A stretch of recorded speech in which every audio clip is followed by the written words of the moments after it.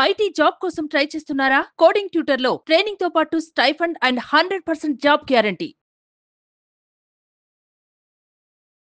మనకి చాలా విషయాల్లో మనకి ఏమవుతుందంటే ఒక్కోసారి ఎవరైనా వచ్చి హెల్ప్ చేస్తే బాగుండు.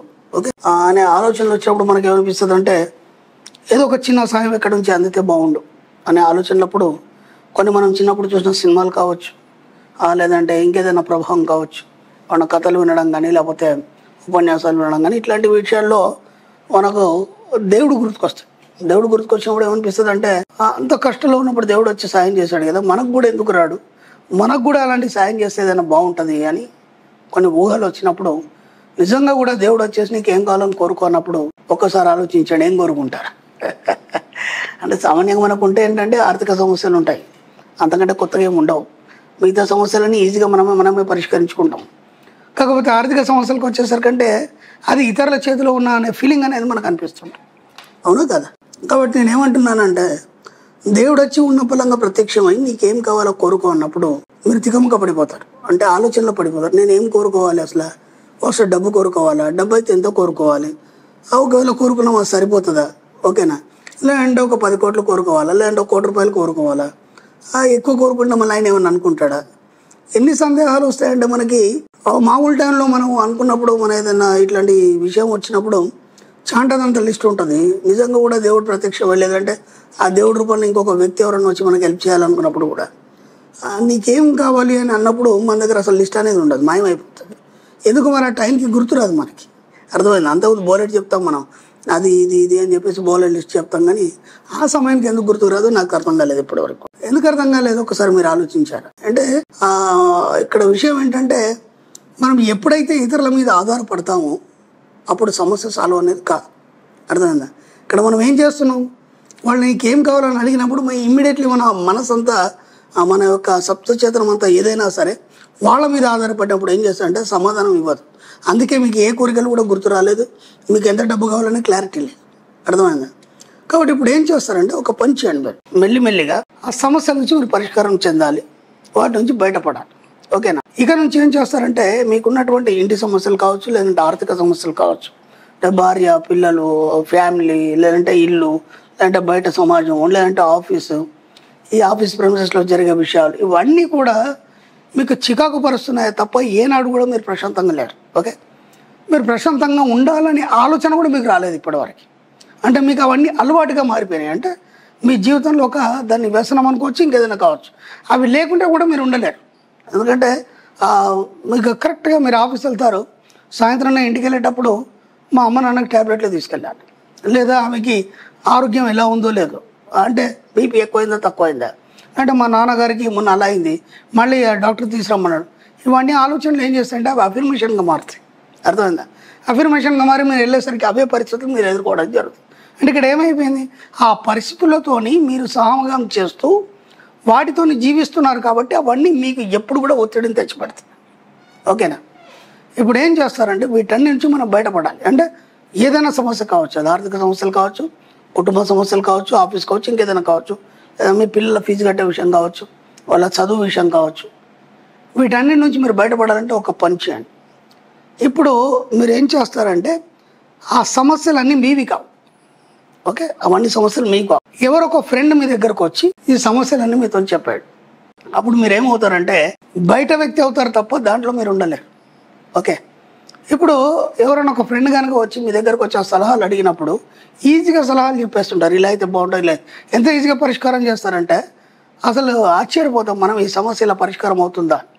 కానీ మీ కాడికి వచ్చేసరికంటే మీరు పరిష్కరించలేరు. ఎందుకంటే మీరు సమస్యలతో పాటు ఇరుక్కుపోయారు కాబట్టి దాంట్లో ఉన్నారు కాబట్టి.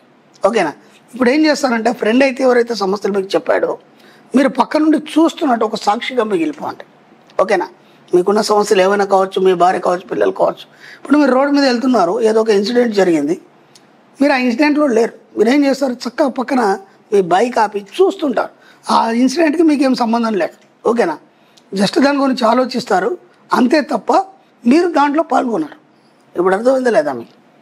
ఇక నుంచి కూడా మీరు ఏం చేస్తారంటే మీకు ఏవైతే సమస్యలను వాటిని మీరు దూరం నుంచి ఒక సాక్షిగా చూస్తున్నట్టు ఫీల్ అవ్వండి ఇలా మెల్లిగా మెల్లిగా మెల్లిగా మీరు వాటిని సాక్షిగా చూస్తూ మిగిలిపోయినప్పుడు ఏమవుతుందంటే సమస్యలు మీ నుంచి మెల్లిగా మెల్లిగా మెల్లిగా వేరైపోతాయి మీరు వేరవుతారు. ఇప్పుడు ఏమవుతుందంటే ప్రతిదానికి మీకు ఈజీగా సమాధానం దొరకడం అనేది అర్థమవుతుంది. అర్థమైందా? ఎందుకంటే మీరు బయట ఉన్నారు లోపల లేరు. మిమ్మల్ని మీరు బయటికి తెచ్చుకున్నారు. బయటికి తెచ్చుకొని వాటిని చూస్తున్నారు. కేవలం సాక్షిగా చూస్తున్నారు కాబట్టి ఇప్పుడు సమస్య వేరైపోయింది. మీరు వేరైపోయినారు. ఇప్పుడు మీకు దానికి తగ్గ స్థలాలు కూడా దాన్ని ఎలా సాల్వ్ చేయాలని ఈజీగా అర్థమైపోతుంది. ఓకేనా? అలా అలా అలా మెల్లిగా మెల్లిగా మెల్లిగా ఒక్కొక్కటి ఒక్కొక్కటి చిక్కుమిడ్లను విడిపోయి మీరు కంప్లీట్గా ఒంటరిగా మిగిలిపోవడం అనేది జరుగుతుంది. అర్థమైంది? అంటే మీ లైఫ్ అనేది కొత్తగా తయారు చేసుకోవడం అనేది మొదలవుతుంది. అంటే మీకు అలవాటు అయిపోయింది ఏంటంటే ఏ సమస్య అయినా నాది కాదు. అది ఒక వ్యక్తిది కావచ్చు లేదంటే వేరే వాళ్ళది కావచ్చు నేను సాక్షిగా చూస్తూ దాన్ని సాల్వ్ చేస్తాను.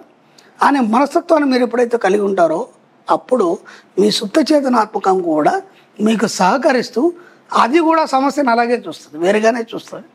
ఇప్పుడు సుప్త చేతనం సమస్యను పట్టించుకోదు మిమ్మల్ని పట్టించుకుంటుంది ఇప్పటిదాకా మీరు దాంట్లో ఇరుక్కున్నారు కాబట్టి అది మిమ్మల్ని పట్టించుకోలేదు. ఇప్పుడు ఏం చేస్తుంది? మీరు దాని నుంచి దూరం ఉన్నారు కాబట్టి ఇప్పుడు అది మిమ్మల్ని పట్టించుకుంటుంది.